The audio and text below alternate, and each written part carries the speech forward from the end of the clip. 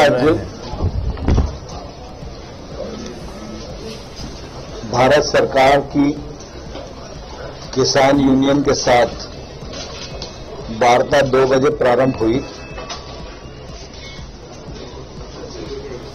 वार्ता में तीनों कानूनों से संबंधित ही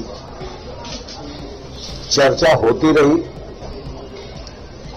लेकिन कोई निर्णय आज नहीं हो सका।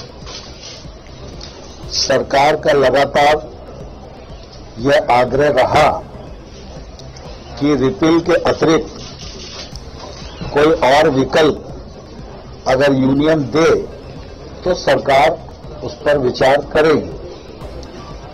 लेकिन बहुत देर तक चर्चा के बाद भी कोई विकल्प आज प्रस्तुत नहीं किए जा सके। और इसलिए आज चर्चा का दौर यही स्थगित हुआ और यूनियन और सरकार दोनों ने मिलकर ये तय किया है कि 15 जनवरी को पुनः दोपहर 12 बजे वार्ता के लिए इकट्ठा होंगे। वो लोग भी अपने यहाँ बात करेंगे, हम लोग भी अपने यहाँ बात करेंगे और मुझे आशा है कि 15 तारीख की जो बैठक होगी उसमें कोई समाधान ढूँढने में हम लोग सफल होंगे। सर क्या पंद्रह तारीख को जब आएँगे तो फिर किसानों ने ये आश्वासन दिया कि कोई नए विकल्प लेकर आएँगे इस केस पर जवाब दिया स्वाभाविक रूप से अंदर जब चर्चा होती है तो बहुत सारी बातें होती हैं और उन सब बातों को सार्वजनिक करना उचित नहीं होता।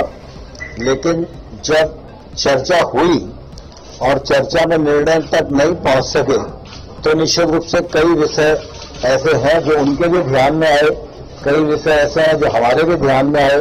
तो इसलिए जब अगली चर्चा होगी